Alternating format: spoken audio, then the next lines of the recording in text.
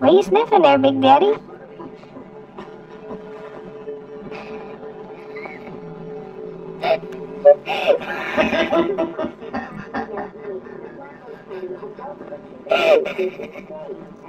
Oh, that's a freaky stuff.